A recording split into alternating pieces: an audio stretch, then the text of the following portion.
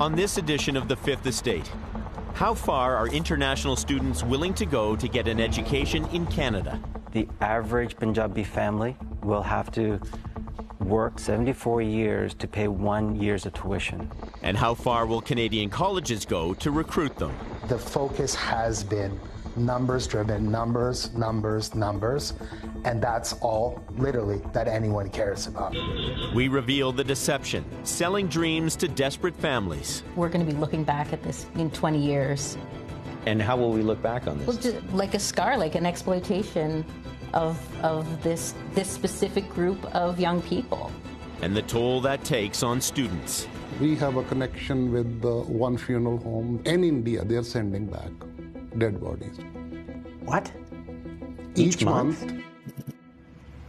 I'm Mark Kelly in Toronto. Colleges and universities around the world are in a race now to recruit international students, and Canada is all in. So, why the race? Well, post secondary schools in this country charge international students five times the tuition domestic students pay for the same education. And we investigated and found what international students are told and what they're sold is a far cry from the Canadian dream they thought they were paying for. This is the Fifth Estate.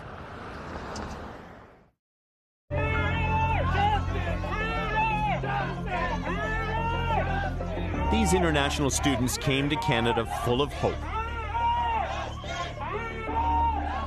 They were lured here with the promise of a better future. On 17th of May, they sent us an official email from Alpha College, no one else. They are saying that we are unable to give you seats. Instead, they're outside their college in Toronto claiming they've been lied to. We need explanation. Sold a second rate school experience.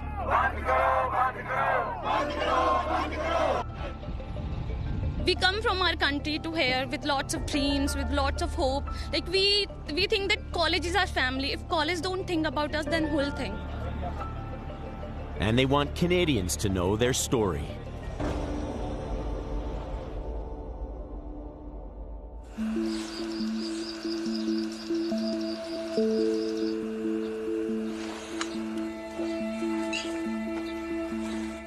Like all stories of hope, this one starts with a dream.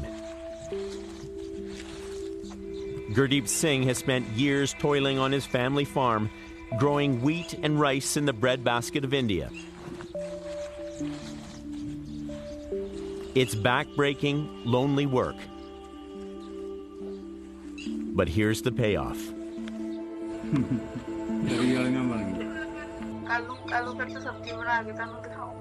All his sweat and sacrifice has enabled him to send his only child, Dilpreet, to school in Canada.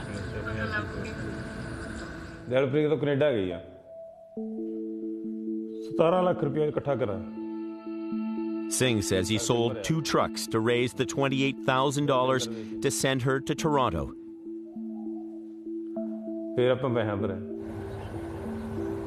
He's bet the farm on her future.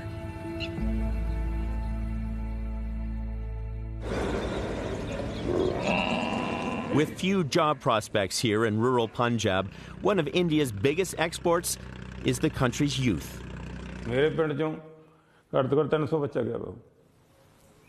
Singh says in his village alone, some 300 young people have left to study abroad. They take with them the hopes and dreams of those they've left behind, with no guarantee of success.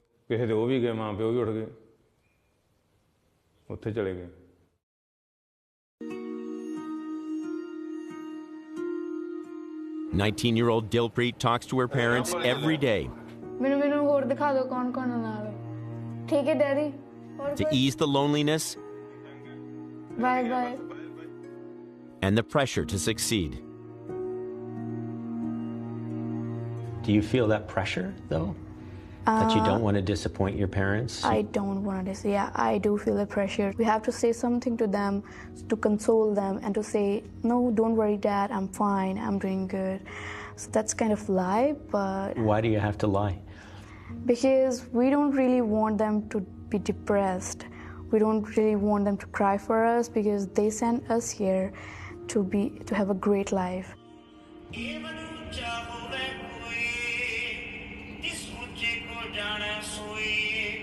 Instead, like many, she feels they were sold a lie.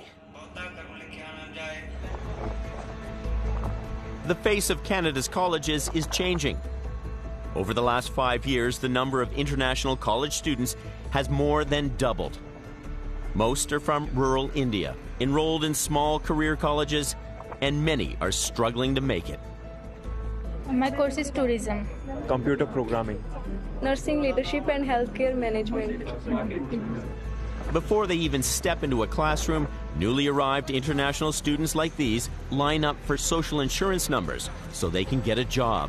Their parents' hard work only covers a portion of their costs. I'm here to get my SIN number, and uh, I'm waiting here for from 6:30. And finding a job isn't easy either. Dilpreet needed work so badly, she took a job in a plastics factory 100 kilometers from where she's living. Like it's too far from my home, so they provide ride. So it takes around two hours to go there, and it takes two hours to come back. So it's like 12 hours of work, four hours of like traveling. So it's like 16 hours in total. And I have to manage my college, I have to manage my home, and everything. And finding a home in a red hot real estate market puts even more pressure on these students. There's little available, little affordable, making them an easy mark for unscrupulous landlords. Dilpreet went from an only child in India to sharing a crowded house of students she'd never met before. So we are just one floor, and we are nine people on that floor. In the basement, it's like six people in the basement. So it's like 15 people in just one in one house, which is crazy. It's like too messy and it's like too congested. Who are the six people in the basement? So they're all students. Harpreet Kaur took that same well worn path as so many of those students from Punjab to college in Canada. She's a shy 19 year old carrying the weight of expectations of her family back home. How much has your father paid so far for for your education? Um, about thirty thousand. And where did he get thirty thousand dollars? By mortgage the land or some bank loans. Yep. She tells her parents about her life in Canada, living with seven strangers, working overnight shifts to pay her way. But after investing all this money, they tell her there's no turning back now. I can't live uh, without my father. It is my first experience. Even when I went to like my uncle and aunt's house, and I called my father and again and again that uh, can you please come? Can you please come? Bring me at home. Like. What did your father say to you when you told him that? He told me that you should. Like you, you're a brave girl. And it takes courage to fight back. That's what this group is doing naming and shaming employers who are exploiting international students. This protest led a restaurant owner to settle with a student for $16,000 in unpaid wages. With students drowning in debt, they're vulnerable, underpaid, overworked, an easy target for exploitation. How is your health now? Are you taking medicine? Yes, I'm taking medicine. All, all, all okay. Nirlip Gill is with Punjabi Community Health Services in Brampton. He counsels international students in distress, like this 25 year old. How is the your like thought process now? Gill found him sleeping in parks, addicted to drugs, a life in crisis. He brought him back to his parents in India. Loneliness. They are missing their families because they are not used to live alone back home in India. That is one main factor to getting the, that uh, mental illnesses. Mm-hmm. depression, stressed, away from home, away from family. We're hearing reports of high numbers of suicides among international students in, in, Brampton who are coming over here. There are multiple reasons for the deaths. On an average, uh, we have a connection with the one funeral home, that is Lotus Funeral Home. On an average, they're sending four to five dead bodies, only international students, each month. What?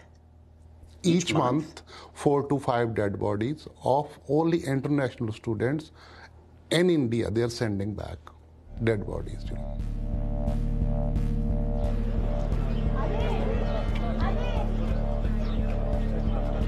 So, with so much at stake, are the colleges part of the solution to help students, or are they part of the problem?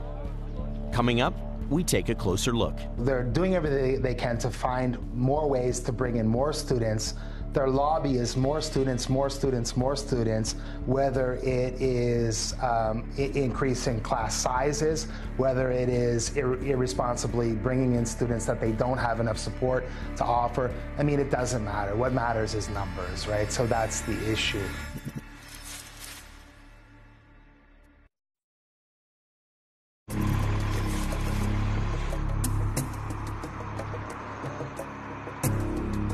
If competing for international students were a sport, Canada would be on the podium. We rank third behind the US and Australia in the race for students. Those students pump $23 billion a year into Canada's economy. So, what are they getting for their money?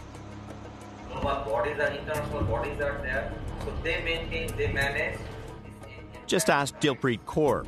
An advisor urged her to enroll in a college she'd never heard of and knew nothing about. I don't know like why he just suggested me this college that I'm having right now. So they were like, okay, you have this college, get this. So which college is that? It's Alpha College, St. Lawrence Alpha College. So I'm currently in second semester there. If you haven't heard of Alpha College either, this could be why. It's a small career college located in the outskirts of Toronto. 100% of its students are international, 99% from India.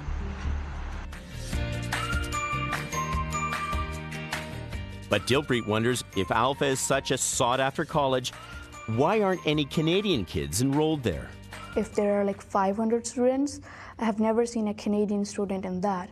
So it means we are all international students and we are who are supporting that college. That's all if the international students are not going in that college, I guess mm, like no one's going to that college because I haven't seen a Canadian student there, anyways.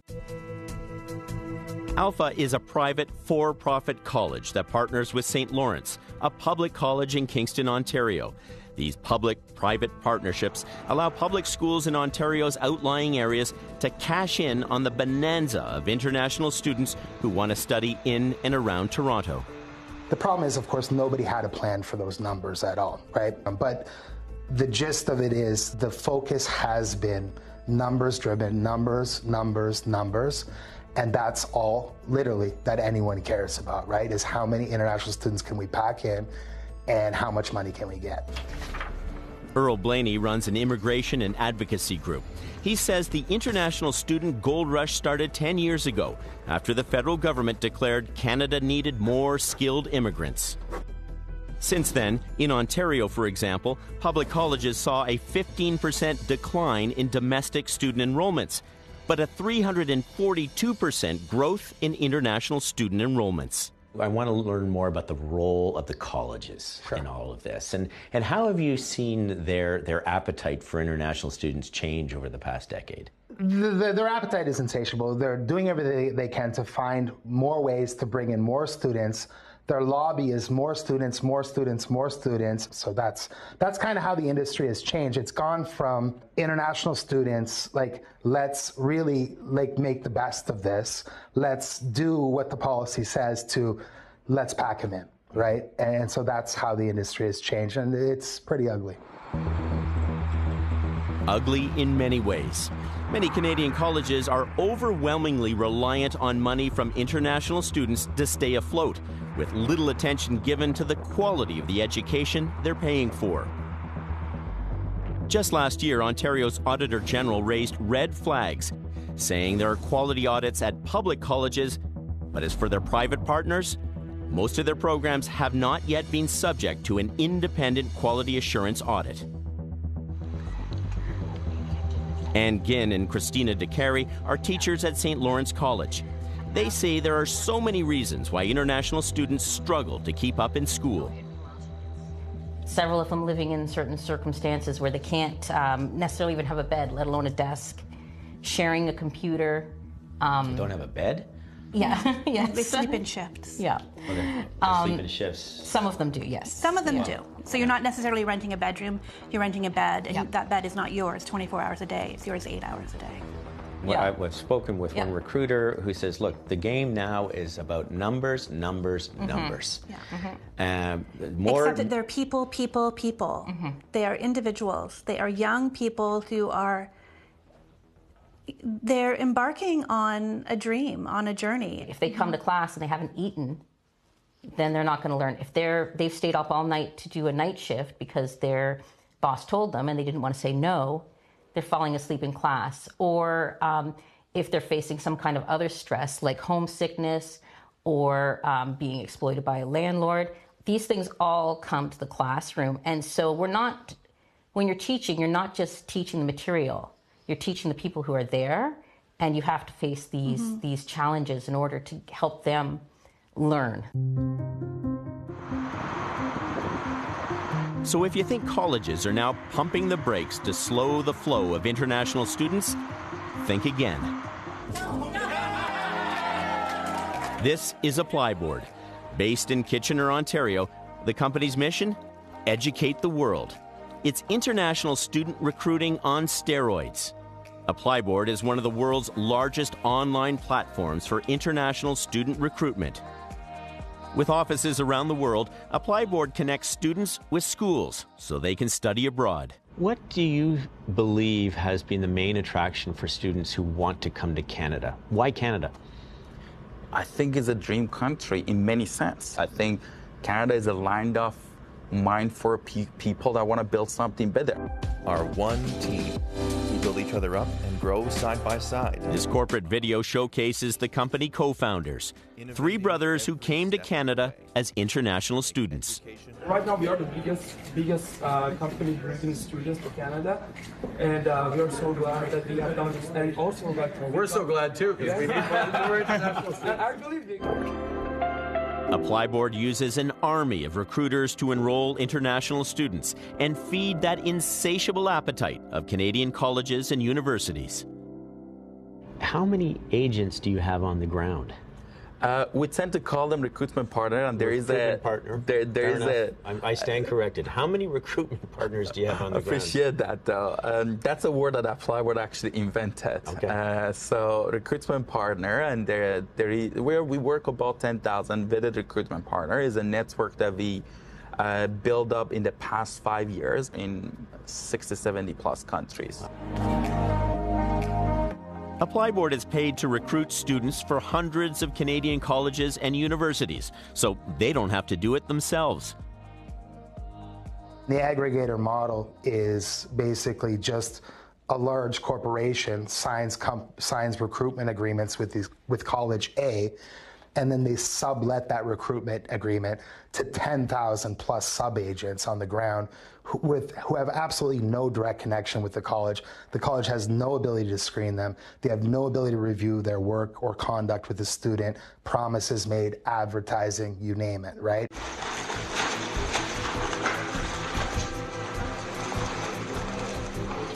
And some promises are empty promises. Let them pack it themselves, right? Just ask these volunteers with Khalsa Aid, an international aid agency with a chapter in Brampton, Ontario. Our biggest projects are internationally. We set up uh, water projects in remote villages across the planet. We've set up uh, solar projects. We work with uh, governments. We work natural disasters. We work man-made disasters like war and stuff like that. That's what we do. That's what we're known for. This is what we're not known for is filling grocery bags and giving to international students. That's not something that we've ever done until now. Singh says Canada has created its own humanitarian crisis by charging international students as much as five times the tuition Canadian students pay for the same education. The average Punjabi family will have to work 74 years, I think it is. 74 years to pay one year's of tuition. That's a huge amount of burden for a family to pick up, right? That's not a 25 year mortgage. That is a 75, 74 year mortgage that you now have to pick up. All in the hopes that, you know, maybe our child can have a better life than we do. And consider this international students now contribute more money to the budgets of public colleges in Ontario than the Ontario government does. Coming up, we go to India with a hidden camera to reveal just how misleading agents can be as they recruit students for Canadian colleges. In terms of uh, uh, the, the, the agents on the ground, who's regulating them? Well, there's nobody regulating them. And this is really, really the sad part of it.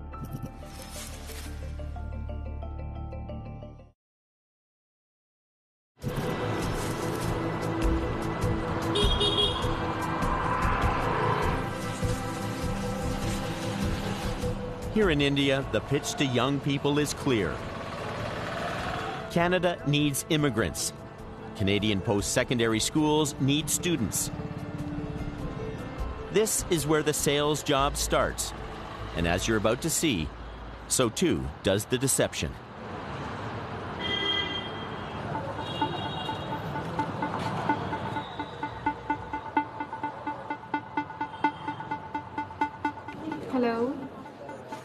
Every kid with a dream to study and settle abroad, there's a long line of businesses just waiting to make a buck off them. These students are cramming for their high stakes English proficiency exam. These prep programs run about 300 bucks a pop.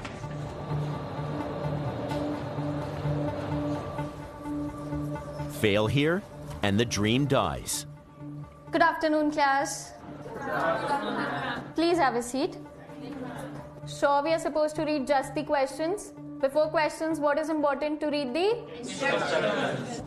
It's estimated more than a million Indian students take these classes every year, hoping for that golden ticket an education in coveted countries. With a show of hands, how many of you would like to go to Canada? And why Canada? Much good education facilities are available for the students. So I think that's why I want to go to Canada.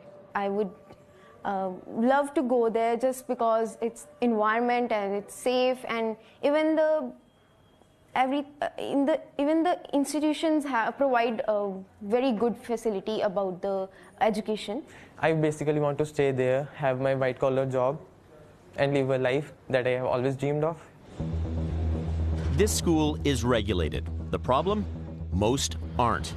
There are an estimated 5,500 English proficiency schools in Punjab alone.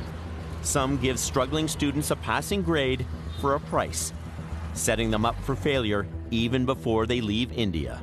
I'm calling from the Australian High Commission. Listen in as one student who passed the exam is called to verify his English proficiency. What was your score in English in your last semester? Sorry, ma'am? What was your English score in your last semester of bachelor's? I want to study this course uh, because I want to make my career as a business administration. I applied for MBA at Victoria University, Australia. Do you have any questions for me? No, ma'am, thank you. The result? Teachers tell us some students show up to class in Canada unable to speak English. Well, think about the students who would be talking during mm-hmm. class, and it took us a while to figure out they were translating for each other. Mm-hmm. So then I thought, okay, so let me make little groups of four, and let me get somebody who's really strong in English and make sure they can translate for the people who aren't. But it took a while to notice that that's what was mm-hmm. happening. But I mean, I know they, they have to pass an English proficiency test in order to get Some here, people are very good at writing tests. But not very good at speaking English. Yeah.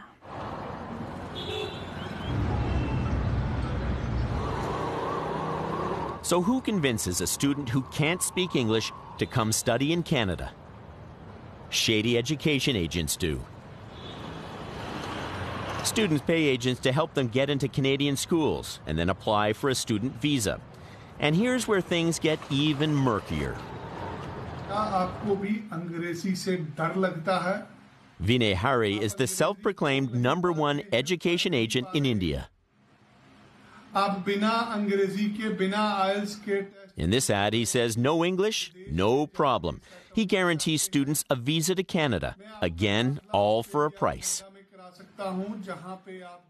Canada has been focusing on Punjab, and, and, and, give me an idea of what it's like on the ground there for, for students meeting recruiters, meeting these agents. Just in the state of Punjab or North India, you'll probably see uh, thousands of uh, travel agents acting like education agents. So it's actually a pretty large industry in India. Ravi Lochan Singh runs a global student recruitment company. He's one of the good guys. He says many aren't. And I don't want to call them education agents at all because I don't think they are promoting education. I think they are just promoting a way to reach Canada. And I think this is very important for me to, because after working in this trade for 31 years, I find it very difficult to work in uh, Punjab market per se because there's no counseling really taking place. This agency promises easy and speedy visas. Notice there's no mention of education. The ads, the empty promises, are everywhere in India. Come to Canada. Vinay Hari will make your dreams come true. In terms of uh, uh, the, the, the agents on the ground, who's regulating them? Well, there's nobody regulating them. And this is really, really the sad part of it.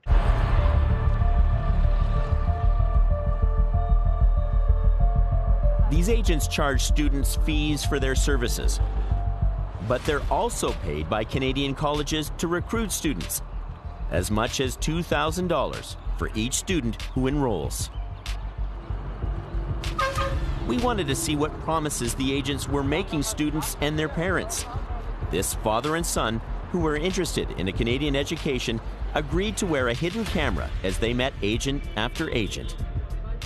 ਹਾਂ ਇੱਕ ਸਾਲ ਦੀ fees ਪੇ ਕਰਨੀ ਹੀ ਕਰਨੀ ਤੁਸੀਂ ਮੰਨ ਕੇ ਚੱਲੋ 10 ਸਵਾ 10 ਲੱਖ ਦੇ ਨੇੜੇ ਤੇ ਆਉਣੀ ਹੈ ਇੱਕ ਸਾਲ ਦੀ ਇਹ ਸੈਕੰਡ ਈਅਰ ਲਈ ਕੋਈ ਉੱਥੇ ਕੰਮ ਵਗੈਰਾ ਨਹੀਂ ਮਿਲ ਜਾਏਗਾ ਜਿਹੜਾ ਕਰਕੇ ਸੈਕੰਡ ਈਅਰ ਦੇ ਸਟੂਡੈਂਟ ਆਰਾਮ ਨਾਲ ਕੱਢ ਲੈਂਦੇ ਉੱਥੇ ਕੋਈ ਵੀ ਆਰਾਮ ਨਾਲ ਖਾਸ ਕਰ ਜਿੱਦਾਂ ਤੁਸੀਂ ਟੋਰਾਂਟੋ ਗਿਆ ਟੋਰਾਂਟੋ ਤੋਂ ਵਾਧੂ ਕੰਮ ਹੁੰਦਾ Easy? Far from it. An international student would need to work at least 50 hours a week at minimum wage to cover their cost of tuition and living expenses. And many are sending money home as well. The father then asks about a well established college in Toronto, but the agent directs him to a little known career college.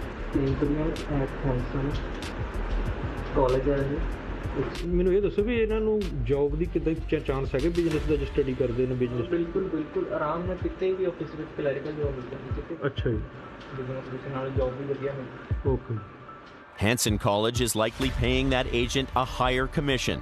When contacted, the school wouldn't confirm either way. Then another agent with a big promise.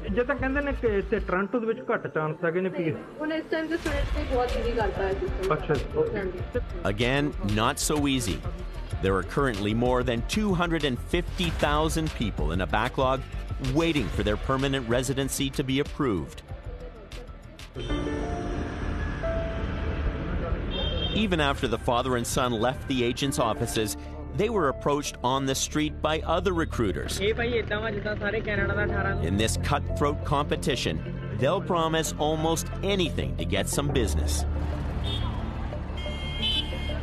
Australia, New Zealand, the UK, and Ireland signed a joint code of conduct for the ethical recruitment of international students to ensure agents are honest, transparent, and act with integrity. Canada chose not to sign on. It's a shame, if you ask me. You would think that there, there are hundreds and thousands of students landing up in Canada. Some of these classrooms would be filled with students from Punjab, but there is really no mechanism to put some code of ethics around the way students are recruited. The system is built on uh, misinformation. They're all acting as unlicensed immigration consultants across the board, um, almost without exception. The Canadian government is well aware of that. I mean, there's no question about it. Um, but uh, the, the bottom line is that these recruiters are, if they don't get the person through, they don't get paid.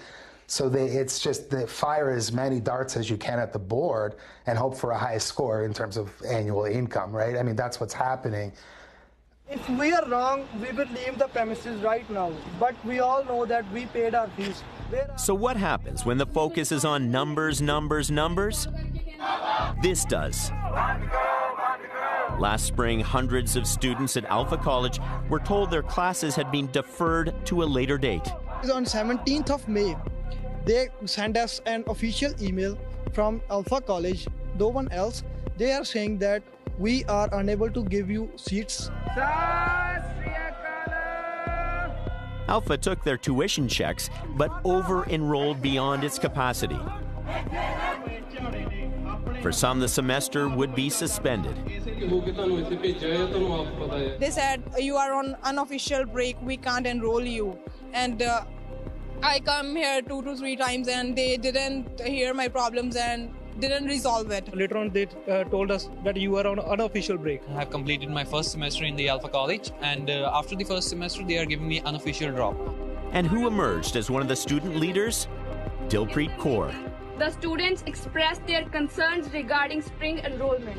The kicker? After months of online classes, this was the first time she'd ever laid eyes on the college her family paid for.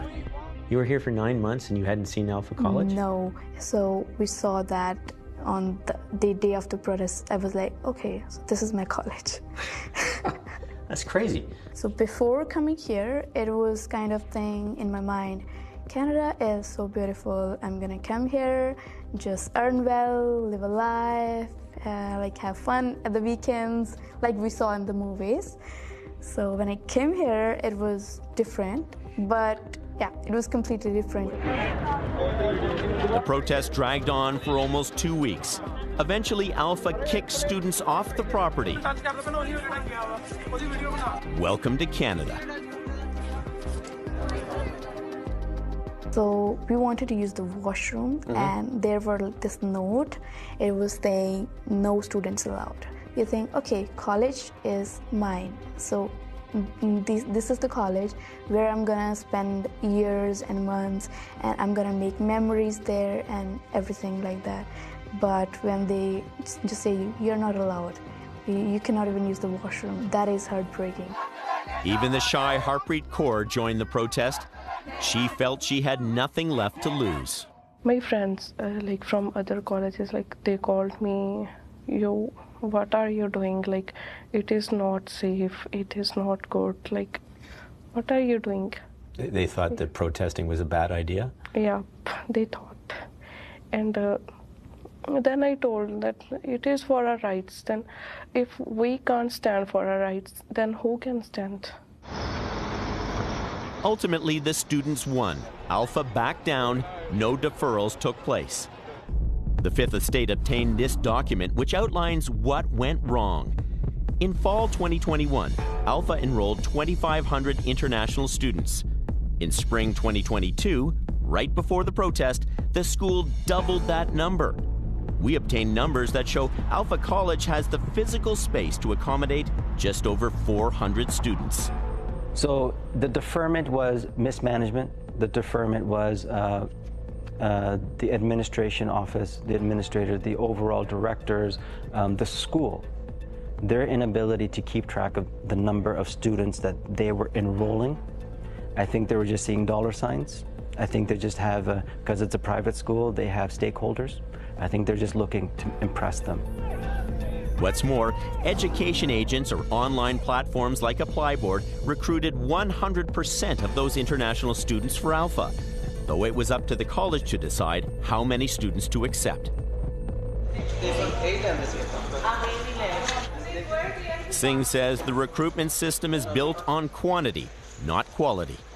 We should not be selling ourselves to what's the easiest way, what's the fastest way, what's the cheapest way. You know what I mean? Like sh- this should not be part of the ter- determination. It should be let's get the best people internationally, bring them in, so they, they we can build a strong Canada. And about the agents in India, then? that played a Fire role in them all. Huh? Fire them all. So, what led Alpha to over enroll international students? No one from Alpha or St. Lawrence College would come on camera to discuss the protest or the plight of their international students. When we come back, we take the students' concerns to Canada's immigration minister.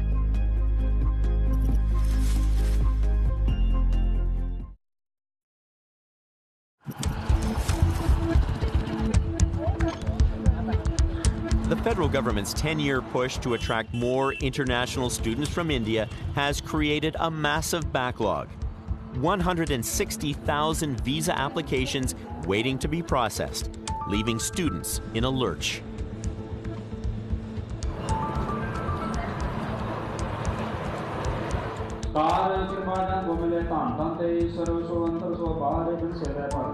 So some are calling on a higher power for help.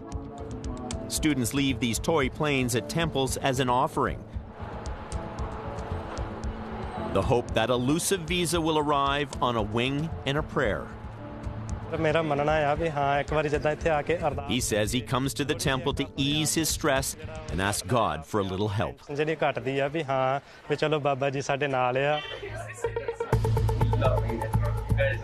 crowd. Like I'm speechless. Yeah. With so many students from India eager to come to Canada, ApplyBoard opened a recruiting office here to deal with pent up demand. LinkedIn startup. Those education agents we approached in India with a hidden camera work with ApplyBoard. I'm always a big believer access and transparency. Yeah. That's what ApplyBoard could do. That's what we have done, and that's what we're going to continue to do. Build the transparency for the students to make the best decision. And that's a good point. But so we wanted to know more about what's happening on the ground too. And, and like you, we're interested in finding more about transparency. Um, So we showed some of what we caught on camera to ApplyBoard co founder Meti Basiri. ਮੈਨੂੰ ਇਹ ਦੱਸੋ ਵੀ ਇਹਨਾਂ ਨੂੰ job ਦੀ ਕਿਦਾਂ chance ਹੈਗੇ business ਦਾ study ਕਰਦੇ ਨੇ business ਬਿਲਕੁਲ ਬਿਲਕੁਲ ਆਰਾਮ ਨਾਲ ਕਿਤੇ ਵੀ ਆਫਿਸ ਵਿੱਚ ਕਲੈਰੀਕਲ ਜੌਬ ਮਿਲ ਜਾਂਦੀ ਕਿਤੇ ਅੱਛਾ ਜੀ ਬਿਜ਼ਨਸ ਨਾਲ ਜੌਬ ਵੀ ਵਧੀਆ ਮਿਲਦੀ okay he was also saying that you can go anywhere in Toronto and get an office job once you go through a career college. Is that a fair promise to be able to make students? I don't know about the office job. I think now is the perfect time and opportunity for anyone looking for opportunity to find a job. As the dream job of everyone. No, I started from pizza delivery. And what about the promise of permanent residency? ਜਿੱਦਾਂ ਕਹਿੰਦੇ ਨੇ ਕਿ ਇੱਥੇ Toronto ਦੇ ਵਿੱਚ ਘੱਟ chance ਹੈਗੇ ਨੇ ਪਲੀਜ਼ ਹੁਣ ਇਸ ਟਾਈਮ ਤੇ ਸਟੂਡੈਂਟਸ ਲਈ ਬਹੁਤ ਈਜ਼ੀ ਕਰਤਾ ਹੈ ਸਿਸਟਮ ਅੱਛਾ I just want to ask you about that one. What they're being told here is there's no problem getting permanent residency. The The message, message is absolutely wrong. No one should, or and it's clearly in our website. It's clear in our code of conduct. It's actually a terms of condition. No one should, and that says except if you're an immigration consultant, that you should be able to advise. No one should. ApplyBoard says it's made substantial investments in training its recruiting partners and has a code of conduct that is enforced when needed. As for Earl Blaney, the international student advocate, he says treating these students like a product instead of people is bad for them, bad for Brand Canada. Can we improve the quality of education? Can we get people jobs? Can we get them skills? Can we get them degrees that they will take home and be successful with? Mm-hmm. Absolutely, we can do that, but we're not trying, right? So that's the problem. We're trying to pack them in, we're trying to get their money, and we're trying to say, okay, job done, right? It's not how students feel about it, right? Like they want something and we're not delivering, period. Nobody seems to want to take responsibility. 100%. Like who's who's who's responsible, right? Who is responsible? Unfortunately, the answer is no one. Somebody has to be responsible. Sean Fraser, who's it going to be? Sean Fraser is Canada's Minister of Immigration. We took the students' fight to his office in Ottawa. Reports have come out that have said that Canada is now getting an international reputation for our post secondary schools that are treating these kids as cash cows. You know, it's it's something that actually troubles me greatly. There are certain private career colleges that I'm convinced have come to exist just to make a buck on the back of the international student program. It's completely unacceptable to me. So what do we do about this? I think we need to do a better job of working with provincial governments to say, we're hearing stories that are coming from X institution. It's really problematic for us. They're trying to grow their uh, acceptance of international students to an extraordinary number. We have concerns that it might be about financial impropriety rather than providing a quality education to students who are coming here trying to better themselves. Nobody's cracking down on, on these agents. Nobody's cracking down on the institutions that are taking the money. Well, where's the accountability? If there is examples of promoters who are tied to institutions that are taking advantage of students, then we need to work with provincial governments to say, you have a problem with these certain institutes. Uh, if they, they don't need my permission to de-designate uh, an institution from the program. We're highlighting a case where there was one school in Toronto. I mean, they went from 2,500 students one year to 5,000 students the next year. They only have a capacity for 400 students in the building. Then they told these students they've over-enrolled and they were, had to defer them. These, these kids had to protest. They're paying for their own exploitation. It's distasteful. I have no patience for it. It's not what the program was designed for. It's designed to provide an education to students and to benefit Canadian communities, not to uh, allow uh, sham operations to open up uh, to financially abuse uh, innocent students who have in their mind what Canada could be, only to be let down because they've been sold a false bill of goods. So the students have been heard, but their fight is far from over. I think that we're going to be looking back at this in 20 years. And, and how will we look back on this? Well, just like it's like a scar, like an exploitation of, of this, this specific group of young people. I think it's unethical to recruit someone when they're not going to be able to succeed. As for Dilpreet, she's learned some hard lessons about being an international student in Canada. After all this protesting and everything happened, this experience, it, it really made us feel like they just want our money and they just want us to give money and like again and again and get rich, filling their pockets, and don't really care about us at all.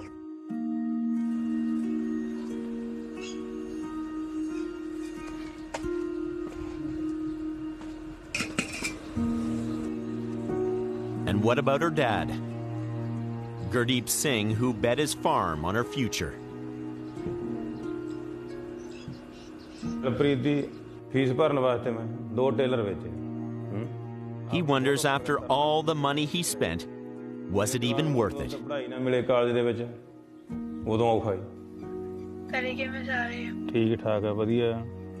But he says he's so proud of his daughter, urging her not to quit now.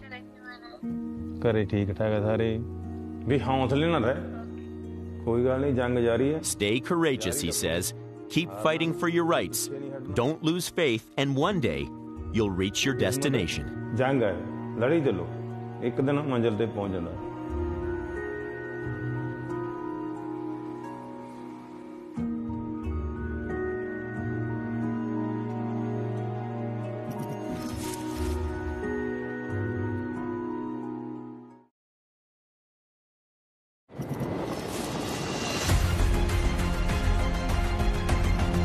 I'm Steven D'Souza, next week on The Fifth Estate.